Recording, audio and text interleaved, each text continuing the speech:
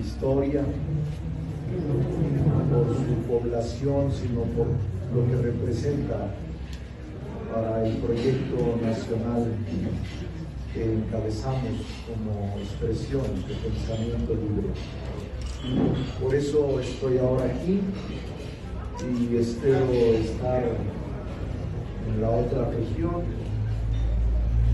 allá por Zacatlán, otra asamblea informativa, pero es de los estados a los que dedico dos o tres días.